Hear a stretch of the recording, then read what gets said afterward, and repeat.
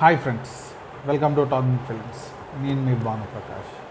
ఈరోజు మనం మాట్లాడుకోబోయే సినిమా మే ఆ టైం మే ట్వంటీ థర్డ్ అని ఉంటుంది జీ ఫైవ్లో వచ్చిన ఒక హిందీ ఫిలిం అది ఒక లీగల్ డ్రామా అని మనం చెప్పుకోవచ్చు. డ్రామా థ్రిల్లర్ సమ్ ఏదో ఆ కేటగిరీలో మనం వేసుకోవచ్చు. సినిమా పేరు ఏంటంటే సిర్ఫ్ ఏక్ బందా కాఫీ హై.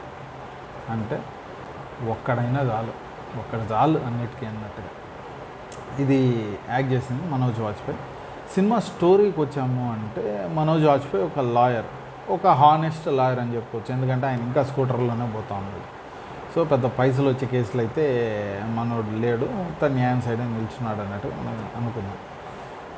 సో అతనికి ఒక కేసు వస్తుంది. ఏందిరా అంటే ఒక మైనర్ అమ్మాయిని ఒక స్వామీజీ వచ్చేసి మాలెస్ట్ చేశాడు. అంటే రేప్ చేయలేదు మాలెస్ట్ చేశాడు. సో ఆ కేసు వచ్చినప్పుడు ఆ కేసుని ఎలా సాల్వ్ చేశాడు అన్నది సినిమా ఇంతకీ వాడిని ఒప్పుకున్నారా లేదా? ఎందుకంటే నిర్భయ కేసు జరిగిన తర్వాత నిర్భయ యాక్ట్ అని ఒకటి వచ్చింది. దాన్ని యాక్చువల్ పేరు వేరేది కానీ it's famous by Nirbhaya act అని ఫేమస్లో ఉంది. దాంట్లో ఒక మైనర్ అమ్మాయిని మాలెస్ట్ చేసినా కానీ దాన్ని రేప్ కింద తీసుకుంటారు. సో ఆ పాయింట్ ఇక్కడ క్లారిటీగా చెప్పాలనుకున్నాడు. అండ్ మనం చూస్తూ ఉంటే ఆమె మైనర్ అనే ఎస్టాబ్లిష్ చేయాలన్నది ఉంటుంది. దాంట్లో ఉన్న ఇది అన్నట్టు కేసు. మనం సినిమా చూసామంటే ఒక రియల్ కేసు ఎట్టా సాగదీస్తుందో ఇంచుమించు అట్టాగే ఈ సినిమాలో తీసుకెళ్ళి ఉంటాడు. అండ్ ఆ సినిమా లాస్ట్కి ఏమైంది? ఏం నిరూపించారు? అన్నది ఈ సినిమా. ఈ సినిమా చూసిన తర్వాత నాకు ముఖ్యంగా బాగా కొంతమందికి ఎండింగ్ నచ్చలేదు కానీ నాకు ఆ ఎండింగ్ నచ్చింది.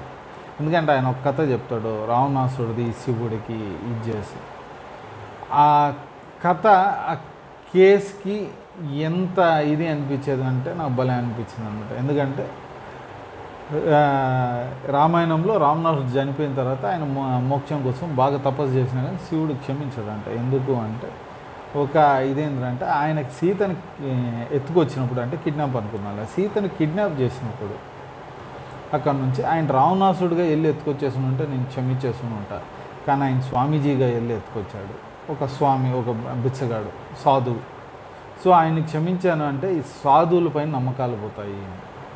సో అది చాలా వ్యాలిడ్ పాయింట్ అనిపించింది నాకు. ఎందుకంటే ఇప్పుడు చాలా దగ్గరలో మన కేసులు ఏది తీసుకున్నా ఆ మత గురువులే ఉన్నారు. క్రిస్టియానిటీ తీసుకో ఇస్లాం తీసుకో హిందూయిజం తీసుకో.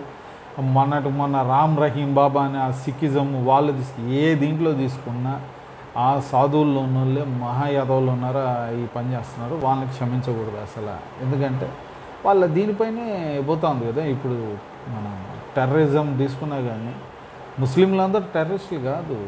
టెర్రరిస్ట్ లైన్ వాళ్ళు ఆ భావాలు ఉన్న వాళ్ళు మ్యాక్సిమం ముస్లిం దీనికి ఉన్నారు. సో జనాభా అంతా ముస్లిం అంటే ఇస్లా టెర్రరిజం అన్నారు. పాకిస్తాన్ అంటే టెర్రరిస్ట్ కంట్రీ అనేస్తున్నారు.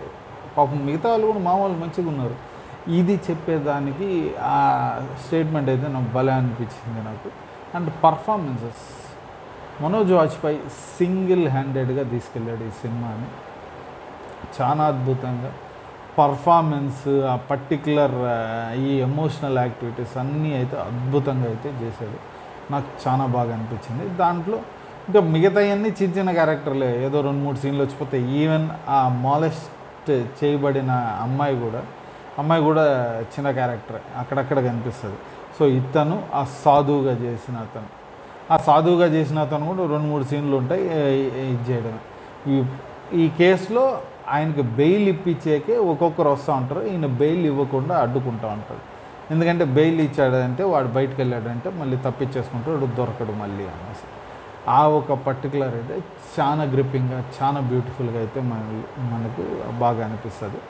ఈ సినిమా సినిమాటోగ్రఫీ చూసామంటే కోర్ట్ రూమే కాబట్టి మనకి ఆ లైటింగ్ అంతా బాగానే ఉంటుంది.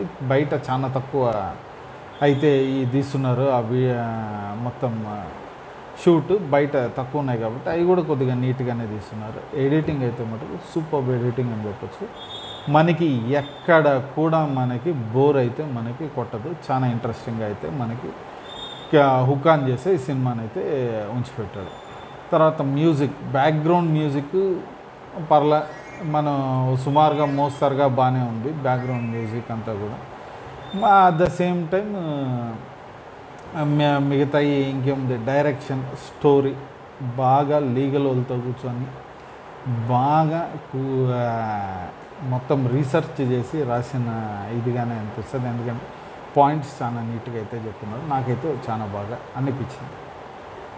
ఈ సినిమా ఎవరెవరు చూడవచ్చు ఈ సినిమా హ్యాపీగా ఫ్యామిలీతో చూడవచ్చు ఫ్యామిలీతో చూడాల్సిన సినిమా. ఎందుకంటే నేను ఏమన్నా ఈ చైల్డ్ మాలిస్టేషన్ ఇవన్నీ ఉన్నా కానీ నేను కంపల్సరీ నేను ఫ్యామిలీతో కూర్చొని చూడాలని నేను ఎందుకు చెప్తాను అంటే అప్పుడే పేరెంట్స్కి చిల్డ్రన్కి మధ్య ఆ వాల్ అనేదన్నా బ్రేక్ అవుతుంది.